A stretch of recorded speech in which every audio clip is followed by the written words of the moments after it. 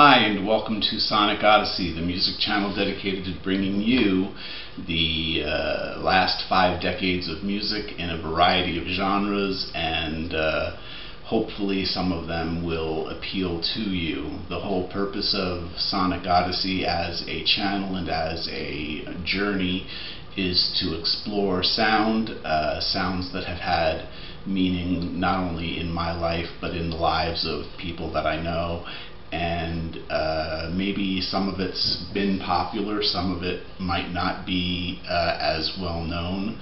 Um, that's part of the idea here. This is not really a review for the hot new album uh, kind of a setup.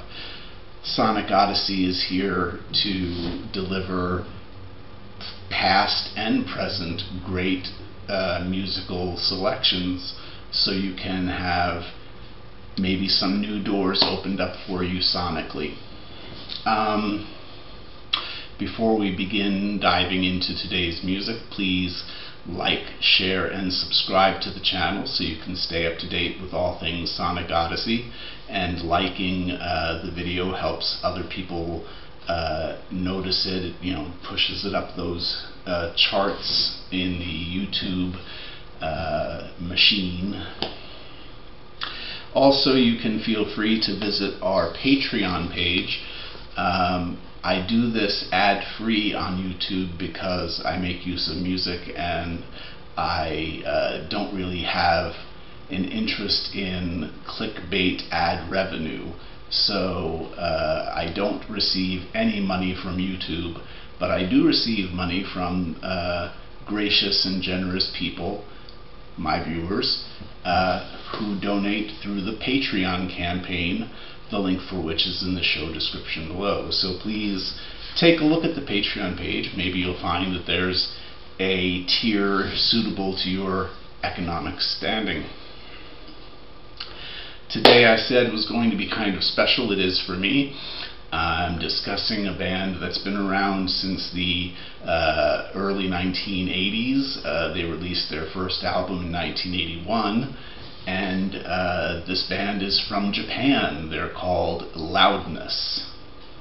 So before we uh, get into discussing the album, which is their 16th studio album released in 2001, we're going to give a brief listen to the track You Stepped on a Mine, or Ya Stepped on a Mine to be precise. Um, so here you go.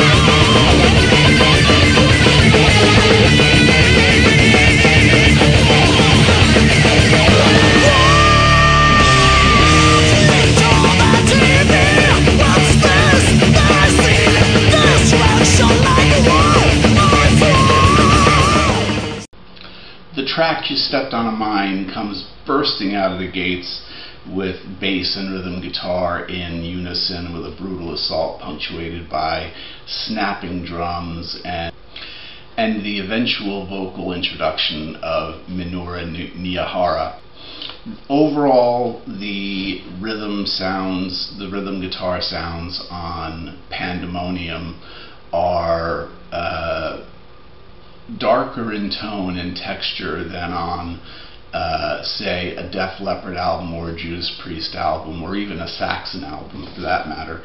Uh, here, the uh, in this album, more so than anything else that uh, Loudness has done, uh, they really went for a lower end sonically um, to bring out um, the the bass and the guitar in kind of a dark dance of synchronicity. It's it presents a really unique sonic stage. And uh, to give a little bit more about some of the other tracks, uh, the second track is called uh, Bloody Doom, and it keeps this aforementioned uh, guitar, bass, rhythm section going really tight. The lead guitar work in it is really spectacular, diverse, depending on what's called for in the piece of music, but uh, really quite diverse uh, guitar leads. The title track, Pandemonium, uh, is also uh, a really strong uh, lead guitar throughout the entire song um, underneath the vocal layer. Uh, there's this uh, the rhythm guitar work, but also this fantastic lead guitar work under the vocals. Um, Akira Takasaki, the guitar player, is a brilliant man. He's great at uh, strong lead rhythm sections, and by that I mean having lead guitar work that works as a rhythm section of the song, not just as a lead in the song. Um, the lead in the in uh, Pandemonium you'll hear in just a moment. I'm going to play a little snippet for you from that as well. Today you get two for one.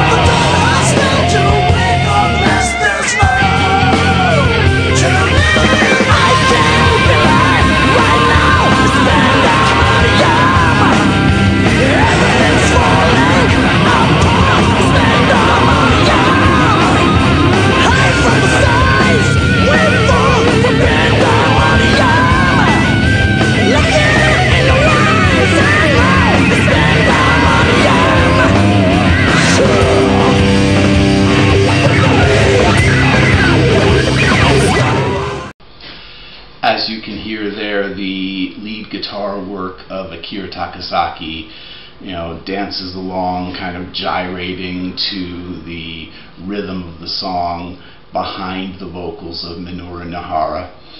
Uh, and so it really does have a great classical feel to it in terms of rock and roll and uh, the heaviness that they're going for here. What's the Truth is a barn burner of a song. This is just easily the heaviest and possibly thrashiest song on the album. Um, has a great football like chorus. What's the Truth? Um, really good song. So many albums from Loudness uh, that came out since the reunion, which took place in 2000. Uh, and there have been 13 albums just since the reunion. This is a band that's got 27 albums out, uh, and we're talking about their 16th. Um, so they've had 13 albums just since their reunion, eight albums of which were with the original drummer before he passed away, unfortunately, and uh, his name was Munetaka Higuchi and Mr. Higuchi, uh, along with Masayoshi Yamashita on bass, make up the rhythm section, the the the backbeat, if you would, to Loudness's musical creations. They are par excellence. Um, Masayoshi Yamashita is not John Entwistle, he's not Geddy Lee, but he's damn close. You know, he's really got that ability to move along the fretboard uh, within the rhythms of the songs without being just, you know, a G string strummer, uh, you know, kind of pathetic bass player. He's really uh, quite the opposite. He's musically uh, extraordinarily talented, and I've always thought that Masayoshi Yamashita's bass lines in loudness uh, were a very strong part, along with Akira Takasaki's lead guitar work, at what makes Loudness such a great band. And Pandemonium is the album probably that comes closest to their original uh, sound with uh, well, I shouldn't say their original sound, their five album period of sound where they had uh, Masaki Yamada on vocals uh, for a period of time. Um, during that period, with the breakup of uh, the original the, the, original lineup of Loudness, uh, Akira Takasaki was pretty much an island unto himself uh, as far as loudness was concerned, and he brought together uh, Masaki Yamada from EZO and the drummer from uh, EZO, and uh, he recorded a few albums while he was discovering Buddhism at the same time in his personal life. Uh, and so his albums during that time were much rawer, much more uh, instrument heavy. Um, a lot of heavy metal music tends to be, you know, with a groove, with a grind, and try to get you into it. but the albums that came out from the Masaki Yamada years uh, they were really groove laden, heavy, down tuned, and so this album, Pandemonium, post reunion, uh, is the closest thing to that period. So I think it has a special place. It stands out distinctly from a lot of the other albums that they've released. Uh, it's a closest trip, closest thing is a tip of the cap uh, to that period. I have to say I would give uh, Pandemonium probably four and a half out of five stars. I absolutely love the album from beginning to end. I hope the two snippets I played for you are enough to uh, pique your interest and uh, maybe you can give Pandemonium a look for yourself. Uh, it should be available through iTunes. It was originally published in uh, 2001 in Japan, um, and only in Japan, uh, as far as a CD physical release. But uh, it should be available through iTunes or through some music download site. So that's all for today. I'd like to thank you very much for watching and uh, hope you'll give Pandemonium by Loudness a listen. And uh, also, please feel free to visit our Patreon page.